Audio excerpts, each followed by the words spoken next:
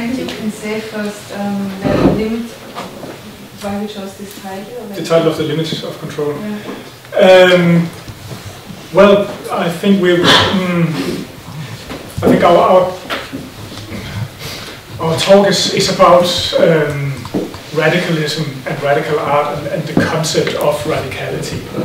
Uh, so we, we started talking about the uh, the etymology uh, of of radical, and and and Blair will will say something about that. But uh, it turns out that one, one, one of, of the meanings it has, you know, in when when uh, when an American surfer says that something is radical, when something is rad, then it means that that, that you are you, you you're taking your surfing to the limits of control, uh, and and that's that's actually a very nice. Um, uh, sort of signification of, of the term okay. that you're doing something at, at the limits of, yeah. and and accordingly we, we, will, we will also do some uh, some surfing uh, today between between things we can talk about in this in this context. Yeah. Um, also at limits of control because I feel like a total um, dilettante in terms of um, speaking about radicality. But um, so we started by googling and um, googling the etymology, and um, I was um, like my work has to do a lot with Catholicism, and um, and I, I, was aware of the term um, radicality in terms of a, um, in the meaning of a 14th um, century methodological meaning, um, meaning going to the root of something. so it comes from a Christian philosophical context, scholasticism, and maybe we could say from a fundamental um, co um, context, and um, so we and it has shares the root of radishes, radish root. This is a photo from a Christian website speaking about radicality, and um, um, of course, if you're rooted in the Bible or in Jesus, that gives you strength in the world. world. This is the um, roots where um, mosses are nesting, and mosses are um, plants I'm in interested in at the moment. They're plants without roots, like algae and leaf lichens. They can grow wherever, so they're surfer, surfer plants. this is what happens to a tree that's not rooted, that's not radical.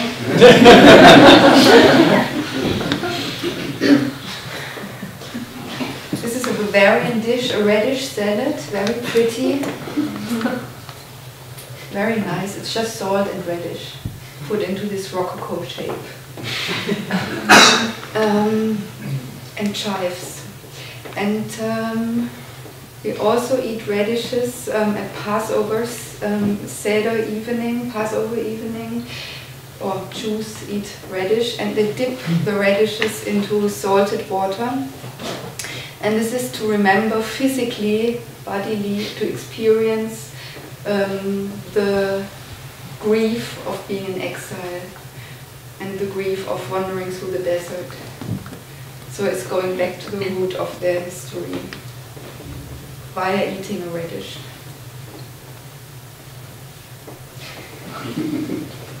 this is a carnival group called the Radishes wearing wooden masks, an activist radish group, radical group.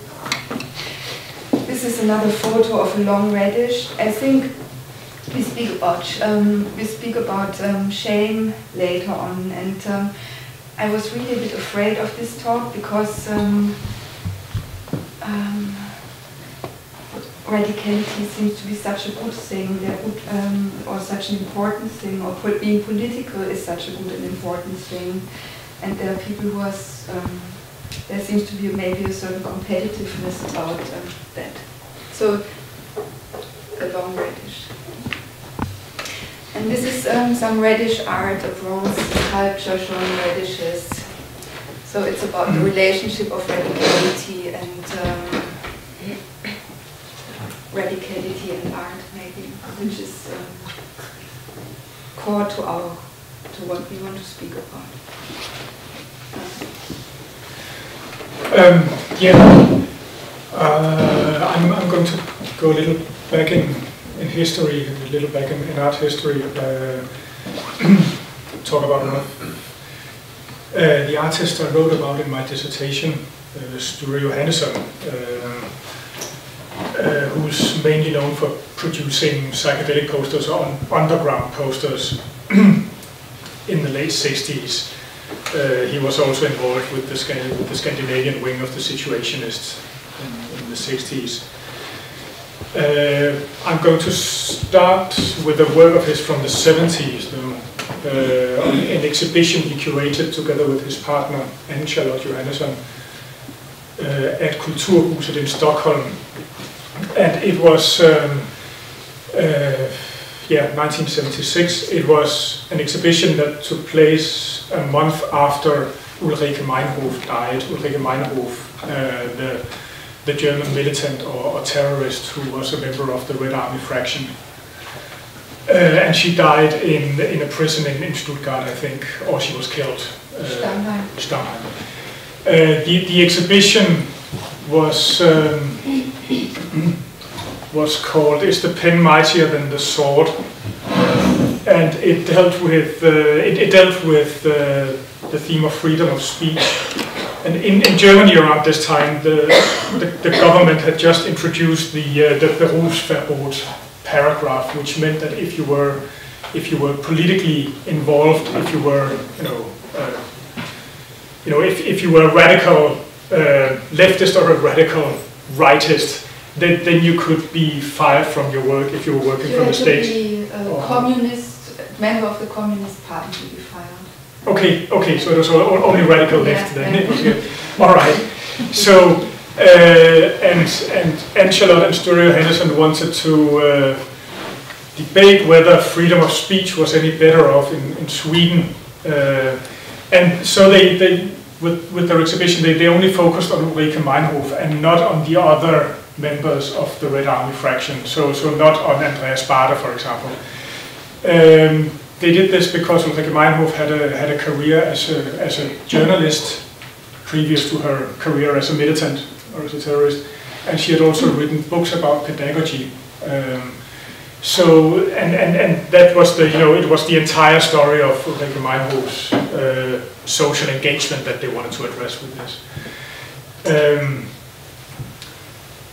and uh, it should be said that the, the, the exhibition was never opened. It, it, was, uh, it was censored on the opening day because the opening day coincided with the, um, with the wedding day of the Swedish king and Queen Sylvia.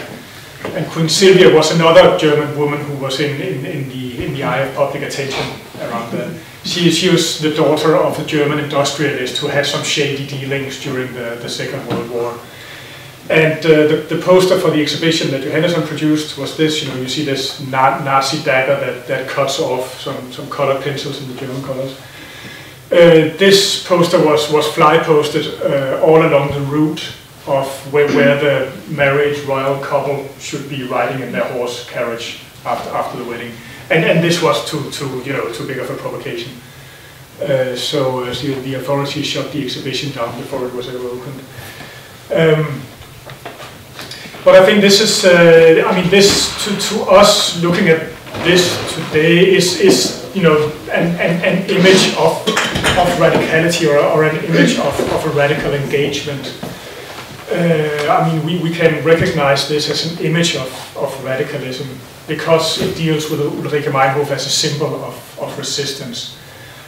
Uh, it should be added, though, that there are also some, some stranger elements in the exhibition like you can see these um, um, these tapestries here, and this one are uh, tapestries made by Ann-Charlotte Johannesson, and they are they, they're, they're just radically strange. Basically, this one, for example, is uh, depicts uh, Snoopy.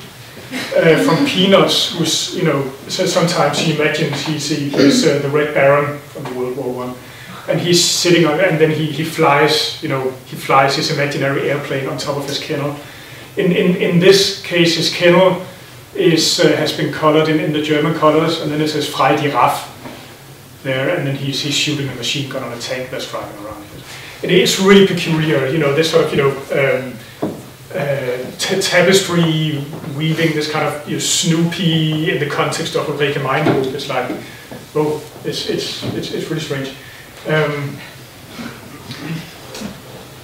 then the, um, yeah, this was another element from the exhibition, the, the funeral wreath of Ulrike Meinhof. Sture Johannesson had gone to the, to the graveyard to the cemetery where Meinhof was buried, and then he had from, from, from the rubbish bin, he had, he had fished out the, the funeral wreath that, that she had been given by her comrades. So, so, so, so this was also on display. Um, so this is uh, this is what, what, what he's known for, basically, this sort of psychedelic type work. Um, and um, and this is uh, his, his famous poster, his most famous poster, perhaps called, called The Hash Girl from 1969. Um, and um, I think psychedelic art is typically not considered radical because it's, it, well, it, it, it, doesn't really conform with an idea of radicalism because it's considered too amorphous or too loose or too stylish or too hedonist. Um, uh, Adorno, in his aesthetic theory, uh, writes that uh, that that a radical modernism, a radical modernist art, such as Kandinsky, is his example, a radical modernist art revolted against the sensualism of Jugendstil. The? The, the, the, the sensualism uh, of Jugendstil. So you know, uh, sensualism what was considered too loose for radical modernism, and you know there is a lot of Jugendstil in, in psychedelic uh, psychedelic visuality as well. So, so uh, sensualism is never radical, no? I don't I don't know. Well, to uh, to sort of to, to this to, to Adorno's academic perspective, it, it would be and and to what what he calls radical modernism. um, and also, yeah, sorry. Oh, it's like the same the same um, paradigm happened like um, if you look at 80s art and 90s art. Like 80s art is not radical because it's painting or like there's a debugment happening in the 90s in the politicization of art. No? Yeah. because, because of sensualism or? Yeah. Yeah. I don't know this called sensualism. no, but it's a, something, um, it's a problem, political art and essentialism.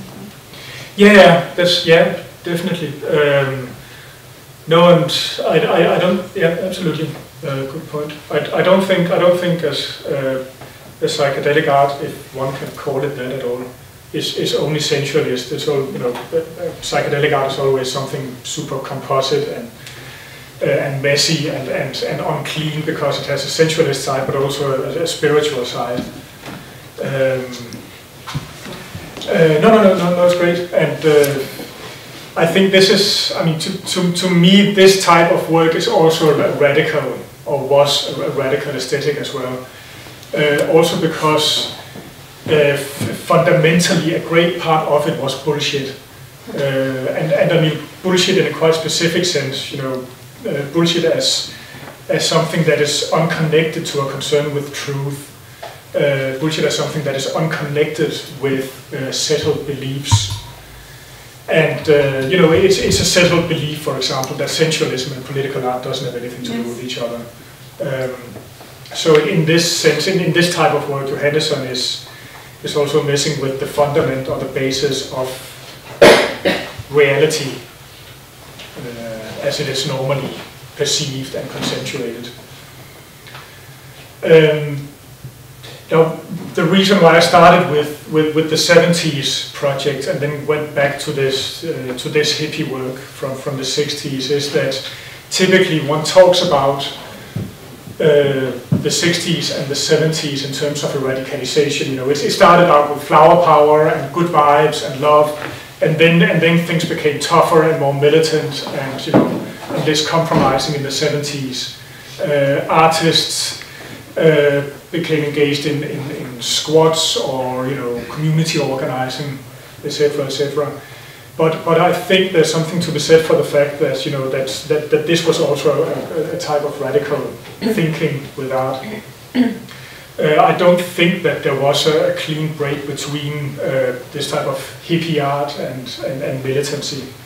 Um, for, for, sure, both, were anti-authoritarian types of work. This is to say that th this poster was also censored by the authorities.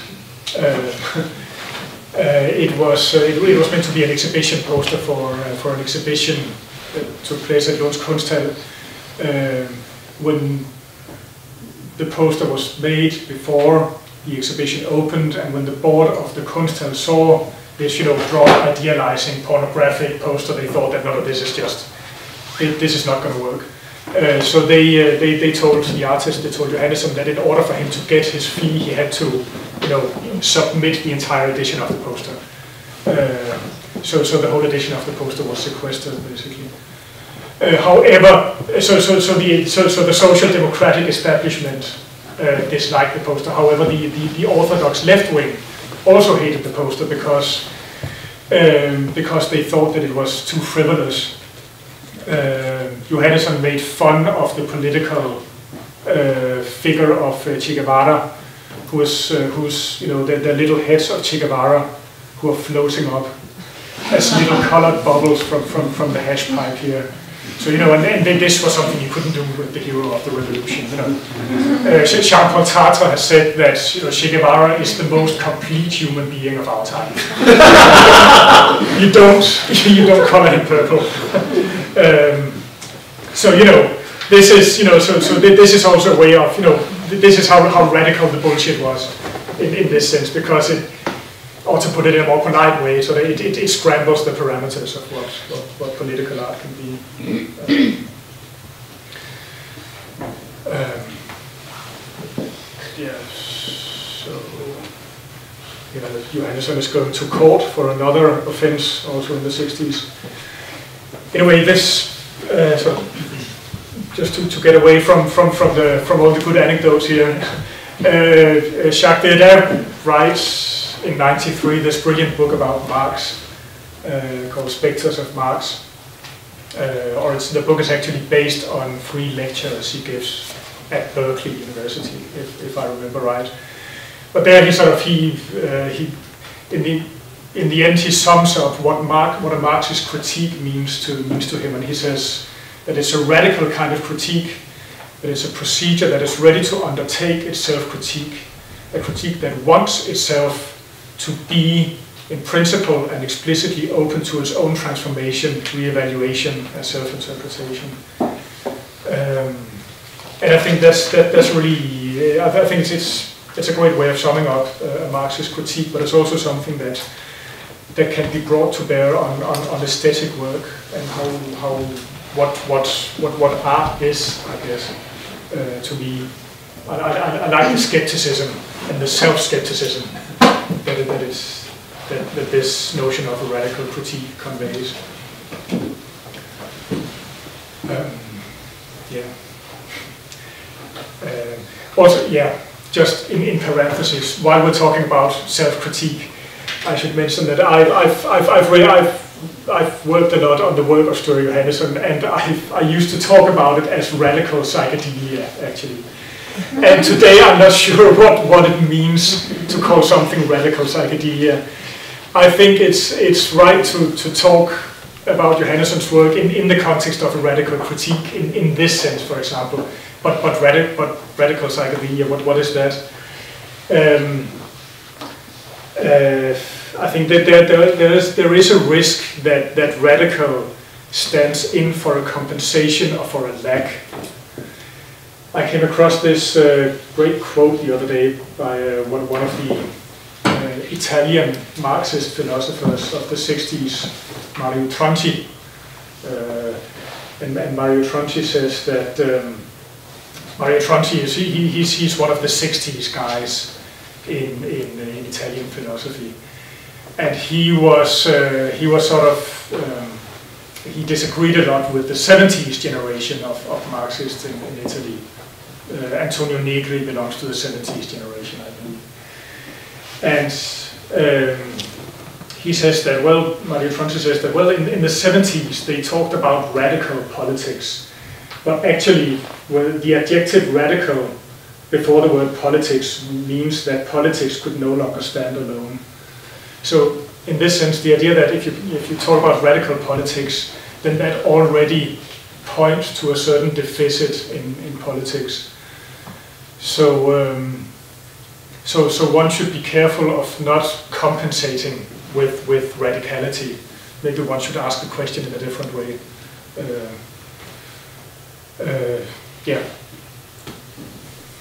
I'm going to give a, a yeah, I'm going to catch another wave, and I'm going to talk. I'm going to make a brief introduction to the work of Andrea, uh, because uh, it's uh, Andrea's work is uh, it, it, it, deals in a certain way with with with what can be considered a, a fundamentalist aesthetics, or, or, what has been been read as such.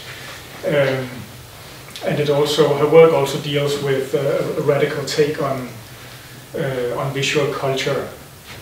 Um, so this is a this is a, a woodcut of Andrea's from this year, last year. What was it called? Um, Sermon Oh yeah, so yeah.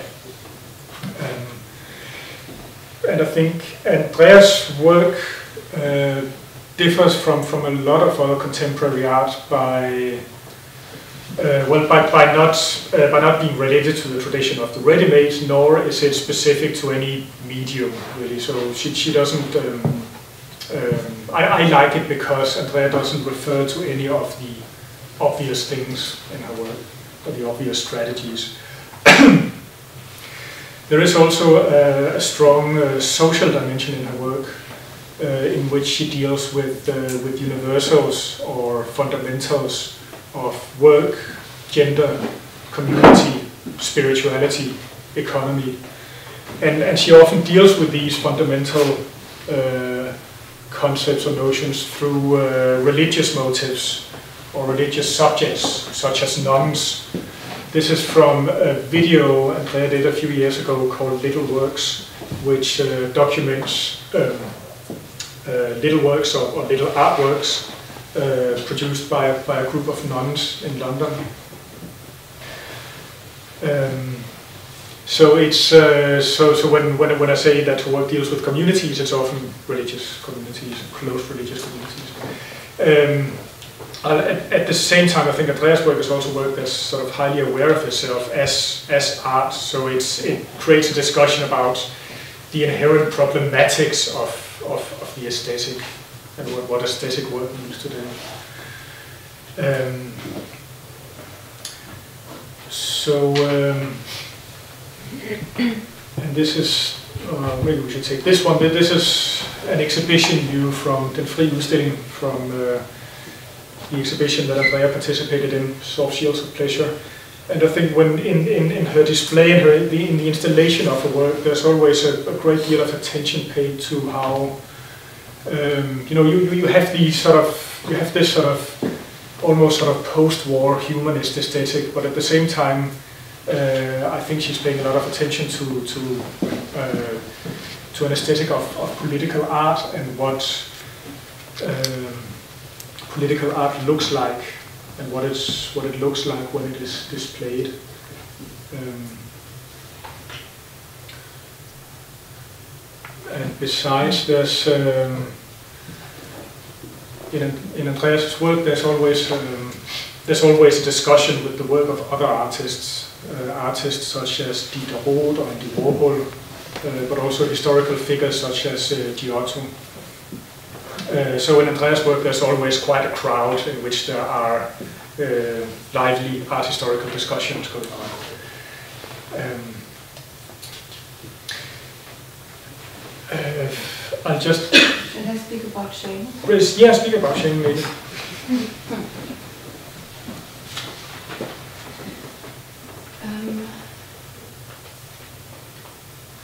first became interested in shame. In sh okay, can I say oh, something? Can I say yes, something? Yes, just um, yes, they, I, I, just wanted to, uh, to to say something about the untimeliness of your work. Uh, the fact that there, I, I also I, I like the fact that there are that there are so many sort of untimely or anachronic elements in um, in Andreas's work. You know, the, the, the religious, the humanism, uh, the existential, and uh, questions of morality as well, which is something that uh, that you know that's you think that well, why, why, why does contemporary art deal with that? in the same way, it's, it's, it's rare to see the medium of woodcutting uh, in, in, today's art world. Um, and on, on some occasions, this is something that has provoked strong, strong uh, audience reactions. Like Andrea had an exhibition in Karlsruhe a few years ago, where, where you know, where it, this is not an installation, but but but it was, it, it was work like this, you know, wood cuttings and stuff. And some members of the audience saw it as uh, as a, or they read it as a straightforwardly religious art, and they considered Andrea's work a, a, a throwback to to post-war Germany, basically. Um, so so you know, they, they didn't see the religious as, as a legitimate subject for, for contemporary art. And uh, but I, I really think it's interesting all the, you know all, all this the, the, this anachronism in it, and also uh, also the question of morality actually, which uh, uh, of of course I, I, don't think of morality in your work as a way of taking a moral high ground or of preaching, obviously uh, but more as a kind of, of, of a drama of, of forces that struggle for our souls. And to talk about soul also sounds off or anachronic. Um, but um, with soul, I don't think of, of something that is hiding inside a body, but I, am I'm thinking of, uh, of, of, of, the gravity of the body, uh, basically as, um, you know, the, the soul is what gives bodies um, an affinity for each other. What, what the soul is what gives bodies space, you know, or, or soul is the precondition for collective experience, you could say. Um, could you say the Sartre quote again about um, about Che Guevara? Yeah. Uh, he says some, uh, Sartre says somewhere that uh, you know this uh, Che Guevara is, is, is, the hero of the revolution. He's the most complete human being of our times. Uh, I, I, I don't know when he says it, but I, I suppose it's before Che Guevara is killed, which is when, 67? But it has also to do with the question of anachronism that we laugh about a quote like this. No? Mm. Um, Sorry to yeah, shame. so this is um, a screen test by Andy Warhol, and it's the only. There are two Warhol did many, many screen tests, and um, there are only two screen tests where the people wear sunglasses. One of them is a self-portrait. And um, also Sartre wrote a lot about shame. Um, and he says it's us feeling that we are in the eye of the others or that we're subjects seen by others. Um, and um, that's how subjectivity is created, and um, also that's how art is created. No, it's something that's on the wall, looked at by others, and we don't feel shame in the moment when we read because then we are concentrated in a kind of it's a it's a kind of yeah in a world on our own, and um, and um, sunglasses are also part of a coolness discourse, which also relates to shame. So I became interested in shame in the 90s because I was interested in things that um, Lars calls anachronistic, and um, and um, people were in, in Berlin back then were very much interested in political display art, and um, there was a, was a certain look to art. So um, even though it's post-conceptual practice, it's, it's supposed to look in a certain way, even though medium is not important. Anyway, I thought um, while art is supposed to be a space of a realm of freedom, I'm, I'm ashamed of so many things, like um, would I write a poem somewhere, or do I want my parents to come to private views? Also, I'm, i have to say I was younger back then, so more shame prone. Yeah, it's also a problem of adolescence shame. Um, and um, shame has to do with um, the public, certainly. When we feel shame, we feel um, um, we feel a norm that we have learned. Yeah? So uh, when we feel ashamed to do a certain kind of art, then we experience um, norms that we have incorporated, what is legitimate art. That's the art we're not ashamed of, legitimate art. Um, that's um, another self-portrait by um, Andy Warhol, very early self-portrait. Also, yeah. also, of course, Andy Warhol was gay and Catholic, and um, um, but when he started, it was called he was queer. People were, who were gay were, were queer, and that's like just strange also. So queerness refers to many things, as everybody knows. It's when we feel shame, we feel that we're different, we feel that we're in a group, um, and that we're different in the group. We're sing singulated.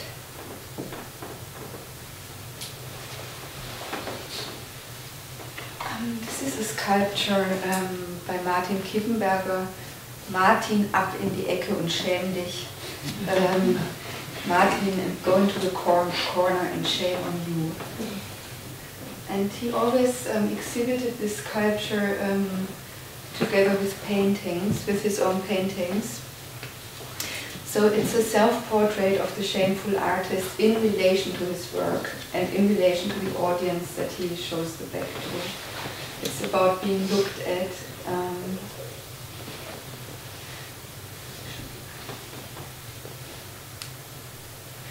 and another artist that's very important to me in relation to shame is um, Dieter Roth. Um, this is an installation view of um, the work he did when he represented um, Switzerland at the Venice Biennale in 1982 and um, it shows um, a wall of um, super uh, of um, Super 8 projection film material, projected films that he filmed from the invitation to um, show at the Biennale until the opening of the Biennale, films of his private life. And um, he said he thought about himself as a bad filmmaker so the whole question of judgment is, of course, a question of shame. This is good and this is bad. And this is how we um, deal with art in our culture. And I don't, I don't say that's a bad thing. Um, um, and Dieter said, because I'm a bad filmmaker, I'm ashamed to show just one film because people will see that I'm a bad filmmaker. so um, he showed many films, a whole film installation as a detraction from the fact um, that he's a bad filmmaker. So people are overwhelmed. So many artistic strategies are shame avoidance strategies. Shame is a very productive um, emotion because um, it teaches us culture and it teaches us um, um, elegance and it um, and it teaches us it teaches it's a heuristic emotion. It teaches us ways to avoid shame. Um, while he was filming these films, he also wrote a diary, Dieter Roth, ein Tagebuch, a diary from the year 1982. And this was also part of um, his um, Biennale contribution, um, a handwritten diary. Um, and he, in this diary, he really wrote about his private life. And um, one Seamus, uh, Dieter Roth is interesting because on the one hand he's like a predecessor to um, strategies like um, Tracey Emin, that's very underrated, as he was very underrated as an artist in my opinion. And um, and um, um, on the other hand, there's nothing obvious, there's no unmade bed in Dieter Roth's work, there's no obviously shameful content. It's about the sheer act of showing um, so shame is, is, structurally related to showing art and to, and to taking something from the studio and exhibiting it. It's close to exhibiting and exhibitionism are very related words and wanting to show but also fearing to be seen. And um, in, this, in the foreword to this um, diary, Roth wrote, here should be written about art, how ashamed I feel about it, about good art or bad art, and about everything connected, but a big depression that sits in me for two years does keep me from writing anything clearly to, about this art thing. So I write here a page filler. So the diary, like the projections, are page fillers. Because it's very difficult to speak to show your shame clearly. Impossible for, for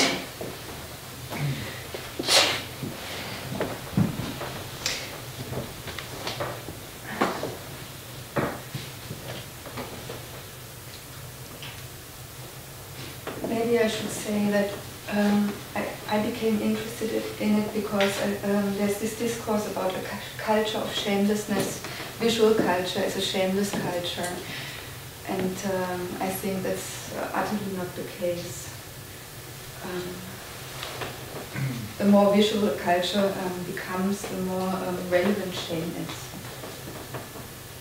And the more the question of hiding and showing and embarrassment is interesting. This is um, maybe to do with soul too. It's um, at the, um, in Tübingen, the Neckar, the river Neckar, and this little yellow house, and the tower is the um, famous Hölderlin Tower.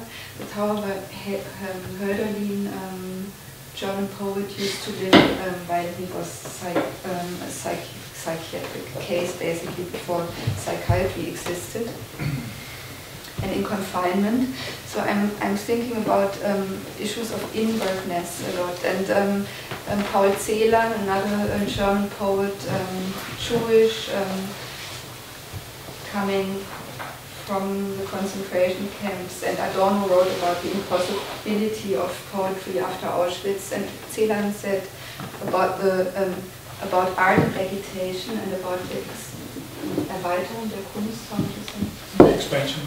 Expansion of the art. So he said, no, I'm not not interested in expansion of the art at all. Um, go into your own. I, I say it in German first ähm, gehe in deine eigene Enge und setze sie frei. Ähm, go into your own most inner tightness or denseness or Enge, narrowness. Narrowness and set it free. Um, so that's about the, can be, this narrowness can be a feeling of shame, for example, but in this narrowness you feel, uh, you feel of course the social and you feel culture.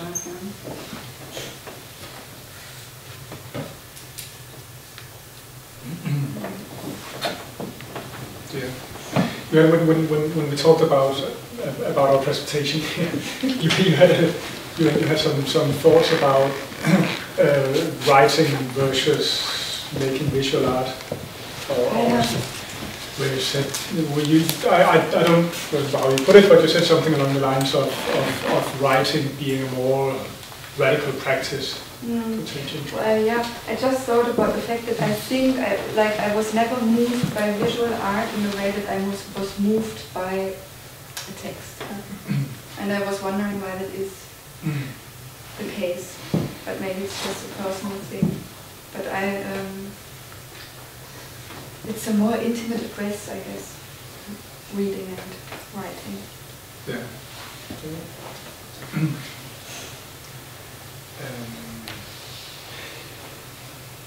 could one call your work a kind of appropriation art?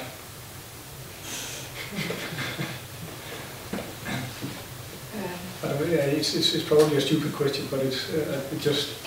You see, um, I'm interested in, for example, the discourse of appropriation art has only been written in terms of, really in terms of like gender or um, straightforward political art. There's, I think Sturtevant is very explicit about the fact that she copies what she loves yeah? And, um, and um, that's something I find quite interesting in terms of appropriation. Um, um, it's a it's a discourse of commitment and it's a it's a discourse of exposure to appropriation. Also, my work, um, of there is appropriation in my work yeah, of medieval art. Of, yeah. of, of um, so this is uh, from a from a Giotto fresco, um, um, um, a man drinking from a creek. Um, uh, some kind of miracle that um, St. Francis did. Yeah, it's appropriation. I don't know. Only in terms of appropriation art being a committed art. Yeah. Kind of art. Yeah. Um, and appropriation art having to do with legal practice as well, uh, copying. yeah. Incorporating. Oh yeah, oh yeah. That's, that's, uh, so, so it's not, uh, because usually appropriation is something that relates to, to, to the ready-made and, and that kind of tradition, you know, like, uh, I don't know, Jeff Koons taking a, a, a vacuum cleaner and putting it in a vitrine or something, but, Mm -hmm. but if it's about copying and, and about copying things one loves, Mm -hmm. then there's a different mm -hmm. kind of distance Mhm. or, or enge, Mhm. uh, or intimacy.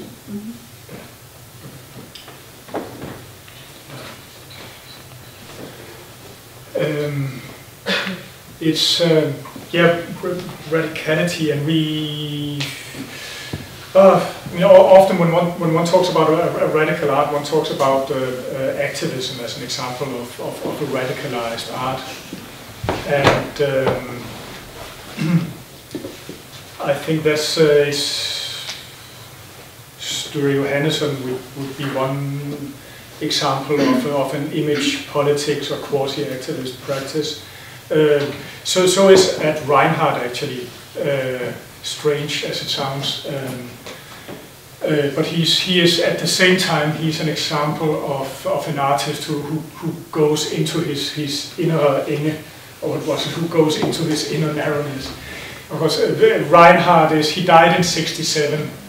Um, and he's he's famous for his you know New Yorker artist. He was I think he was new an abstract painter.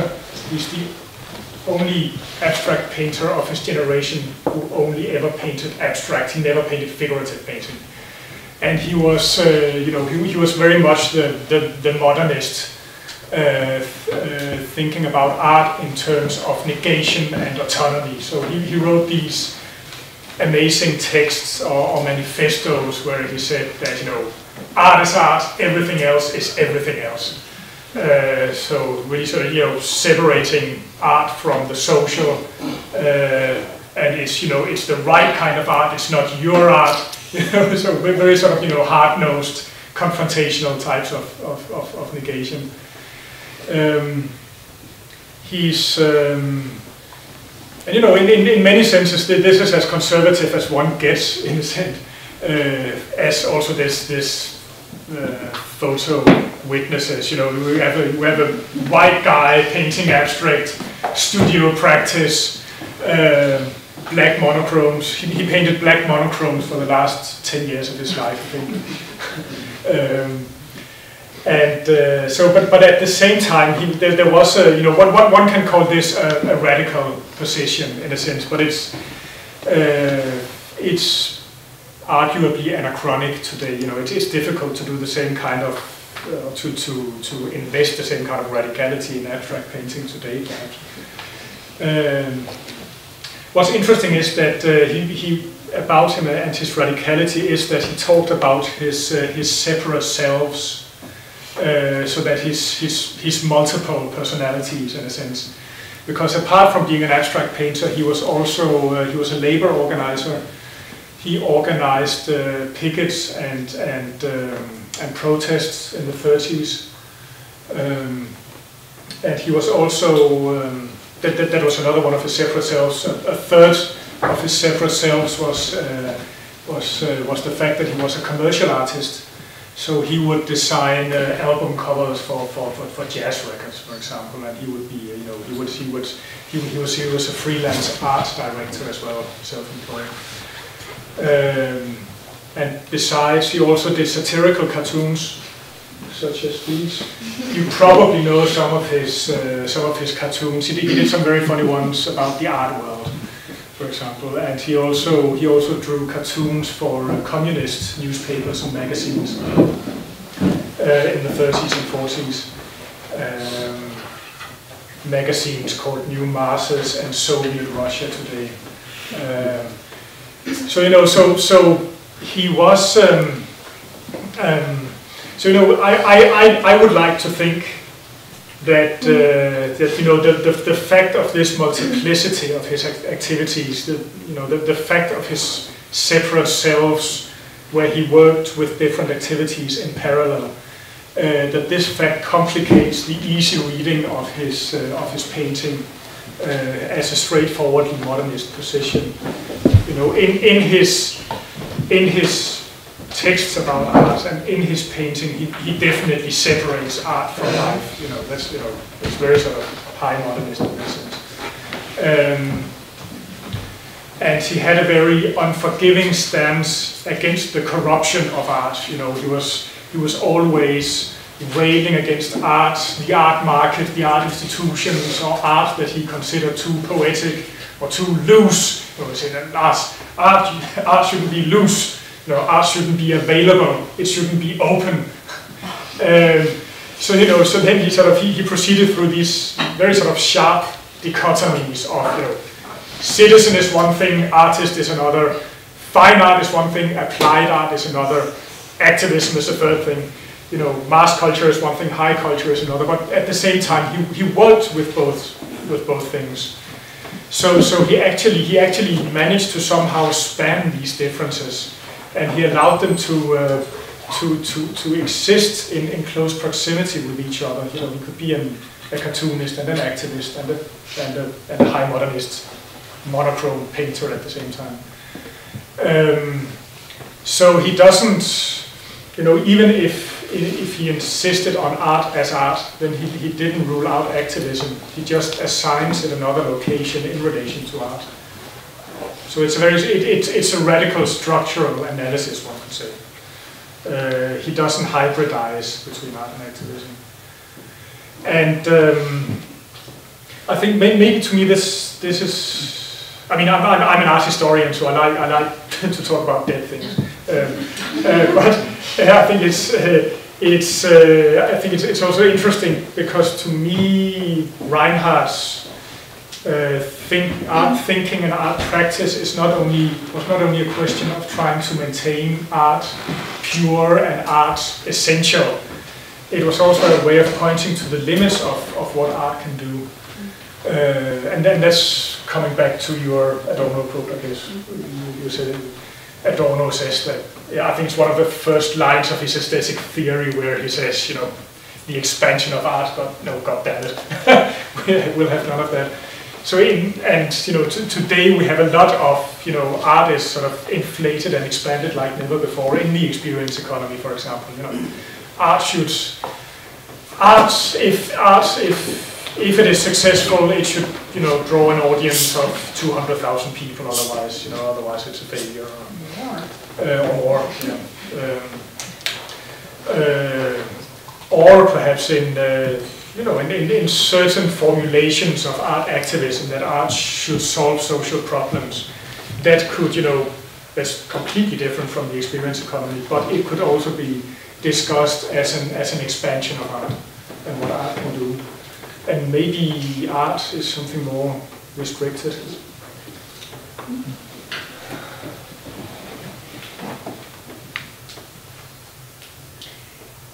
This is procession, Mary's Day in 1964 in San Francisco led by Sister Corita Kent and showing Sister Corita Kent posters. It looks like activism and it's a mixture of um, religious holiday and um, pop art.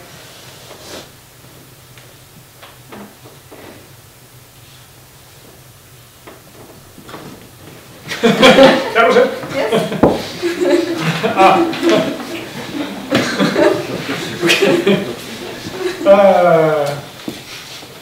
No expansion. No expansion, that's good. Sorry, I'm, yeah, I know I'm being too expensive. Um, okay. Uh, I remember, I, I forgot my coach afterwards, sorry. Oh, sorry, that's not. All right. Um, mm -hmm. So I, I, I'll talk a bit about um, about alienation um, and, and estrangement um, because it's um, uh, it, it was also some what maybe I can say this book about um, about um, Sister Corita was published by Julie Ault, who is a member of Group Material, and lastly now speak about Group Material. Yeah, thank you, thank you. That was that was um, but before before we get to that, I will, I will speak a bit about alienation. um, uh, which was also something that came up when we when we uh, prepared for this, uh, and it's also something that comes back to our, our, our, sort of our shared traumas with 90s art, I guess, um, because we're sort of both, you know, uh, we both realized that we're sort of uh, pro historical subjects, products of, of 90s, the 90s art scene. Um, and and alienation is. Um, is, is a key, key Marxist concept that has been somewhat forgotten. Um, um, and it's, it's a key concept because it's fundamental to both uh, social critique but also to artistic critique. Um, and um, you know, artistic critique as in as in Bertolt Brecht, of course, who talks about the, the Verfremdungseffekt, uh, about about making things strange in order for the audience not to become passive and fall asleep, but you know to be to be conscious, critical observers. Um, and um, I think it's uh, one um, to me one can talk about alienation or estrangement in relation to the work of of Andrea, but also to to uh, Anne-Charlotte and Sture Johannesson, for example. Um, it's also something that relates to the title, to, to the title of our talk, because to Marx, Marx writing in 1844 about alienation and estranged labor, uh, he basically defines alienation as a loss of control over one's labor. So alienation is a loss of control. Um, and um, Marx writes about this loss of control. He describes it as a kind of uh, virus or as a kind of viral effect that spreads in social space. Um, you know, one in estrangement or in alienation, one becomes uh, alien from oneself, one becomes alien from other people, uh, and one becomes alien from humanity as such. He says that that uh, in, in, a, in, a, state of alienation, one becomes um, uh, alienated from, from the species being, uh, from the natural state of man, he says. And he says that this, this loss of control, uh, this, this disruption between life and labor and life and activity, it has, it has monstrous effects. Um, and of course, the, uh, I, I, guess there's several reasons for uh, alienation falling out of fashion or, or, or, the fact that it hasn't been, been talked a lot about the last, since the end of the 80s perhaps. Um, I mean, one, one of the questions is if one can address alienation without having a concept of nature. Marx talks about, you know, this, you know, uh, alienation is unnatural. You, one, one is removed from the natural state of, of being a human being, and you know what, uh, of, of course, uh, nature is an idea that has been, been thoroughly deconstructed since then. Um, and um, it's of course also a, a, concept that comes with a long history. Uh, so um, in, uh, in the 60s, it's, it's a concept that is, that is criticized by, by a new generation of Marxists um, and a new generation of philosophers. Um,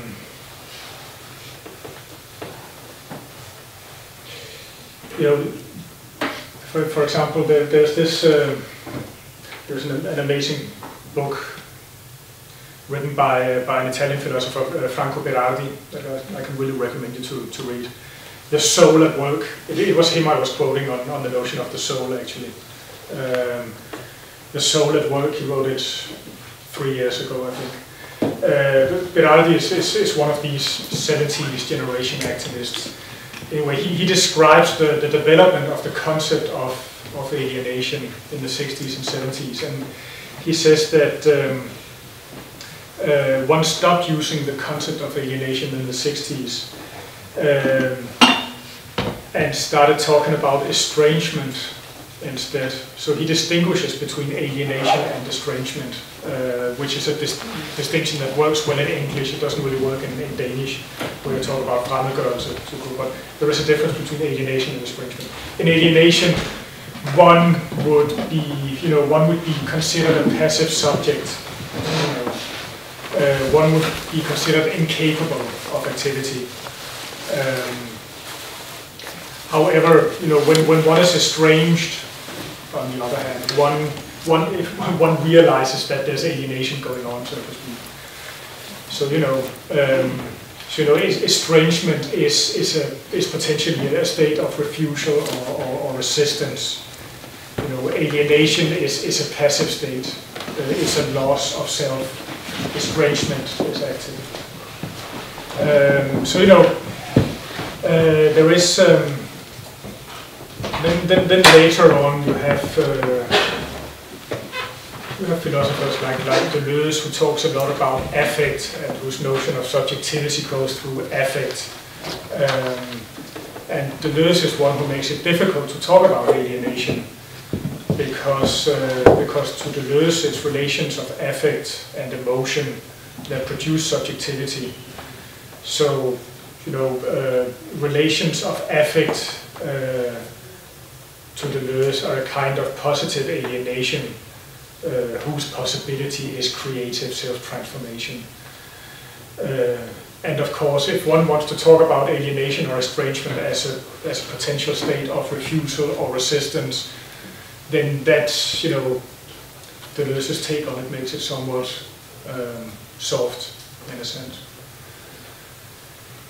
Um, anyway, so this is, um, uh, I guess, through through alienation or estrangement, one one can radicalize uh, uh, an, an artistic critique, in a sense. I'll just show an example of how artists have, have worked with this. This is um,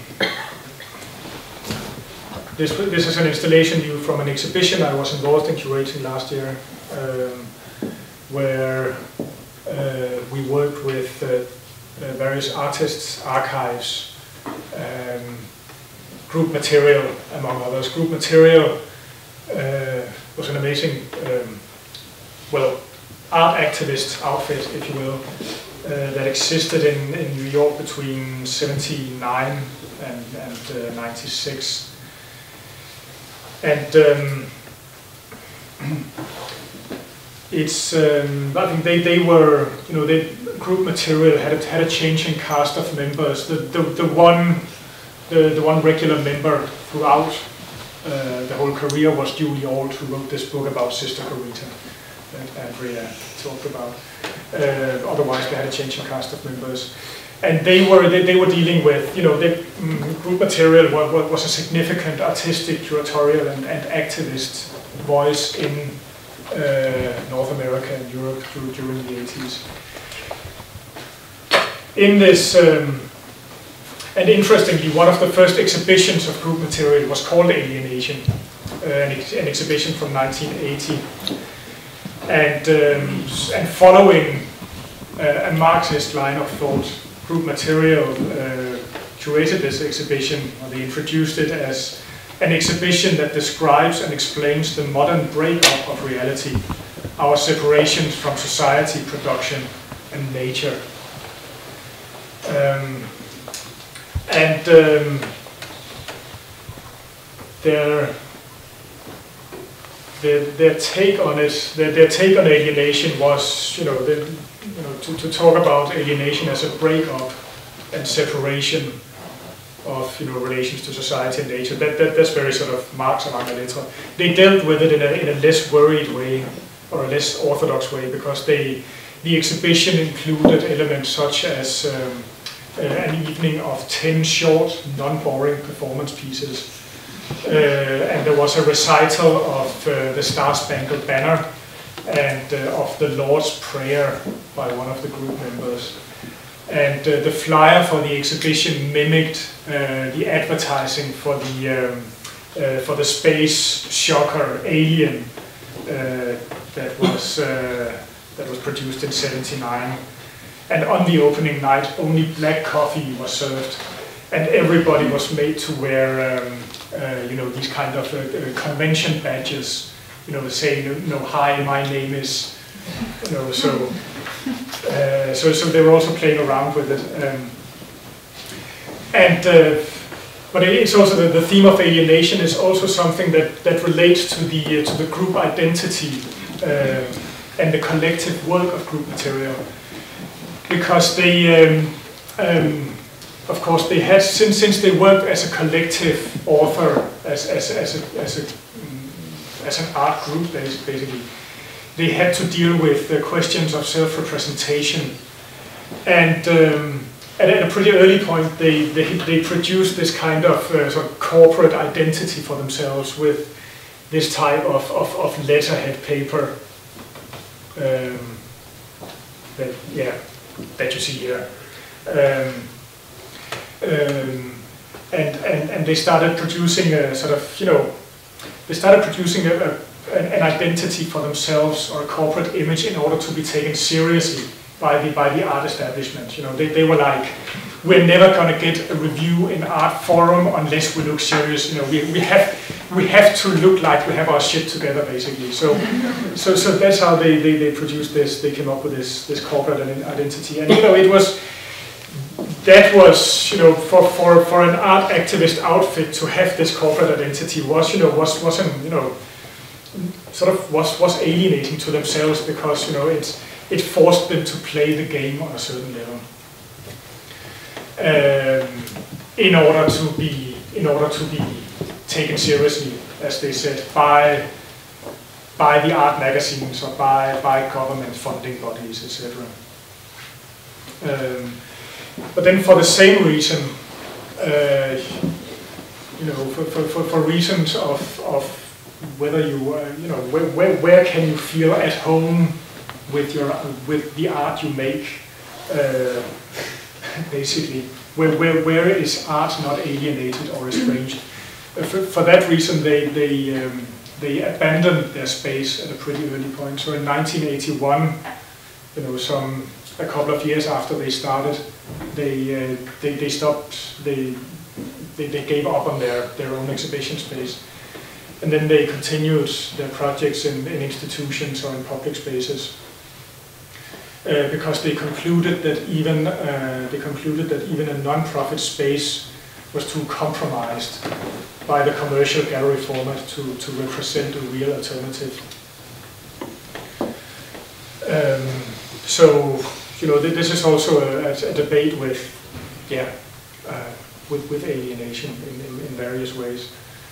Um, and, yeah, basically, yeah, finally, I just to connect to what you said about visual uh, visual culture, I think their group material is, is they, they, they're, they're super interesting, not least because of, of the very particular sort of visuality they developed. I think they, they, they defined the visuality of cultural theory in a way because they, they, well, you can definitely say that they proceeded with a radical mix of, of different visual sources. Um, and different signs. You know, in, in their displays, they were juxtaposing abstract painting, advertising, consumer goods, children's drawings. You know, so so they had this, you know, a, a really, you know, in the most productive sense of the word, they had a really indifferent uh, take on, on on the visual signs they operated. It could be art, it could be bumper stickers like this. Um, but still, they they always worked within the confines of, of you know, aesthetic display. Um, so in that sense, their, their work was probably as much about curating and you know exhibition making as about as about activism.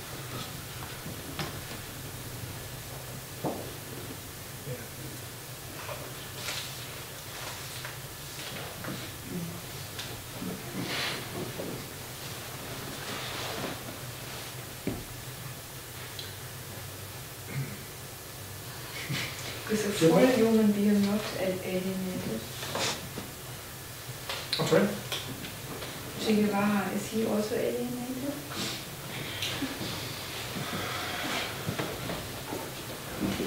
Um,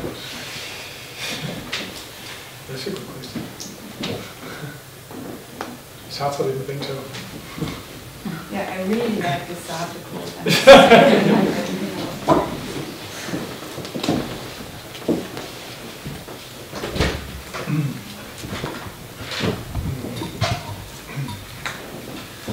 Well, it's also, know, it's, it's a good question.